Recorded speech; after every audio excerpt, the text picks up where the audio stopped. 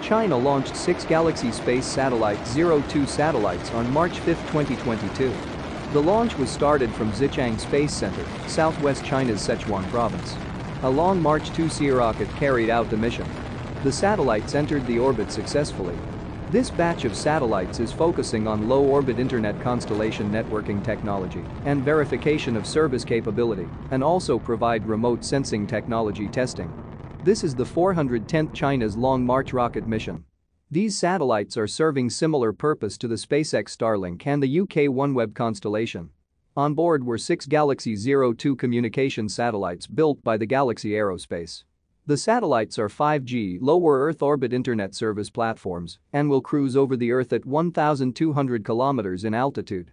When complete, the constellation will be formed by 144 satellites each of the satellites weighs about 190 kilograms, which is lighter than the earlier demonstrator. The six testing satellites can provide 30 minutes of internet service when pass over any area.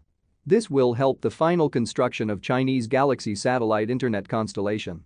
Some of the satellites have a remote sensing camera installed, therefore remote sensing tasks can be performed. This launch indicates China commercial satellite internet service is getting closer and closer to first commercial launch. Within years China will have a satellite internet constellation ready for customers.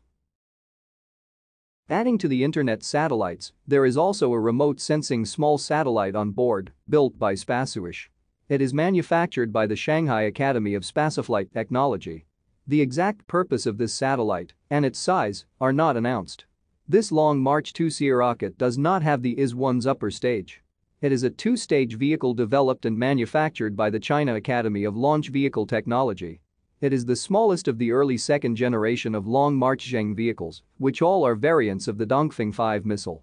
The rocket will be replaced by latest third-generation Long March rocket family. Thank you for watching this video. If you like this video, please subscribe, share and comment. It will really help us developing this channel and bring you more videos about Chinese military news. Thank you.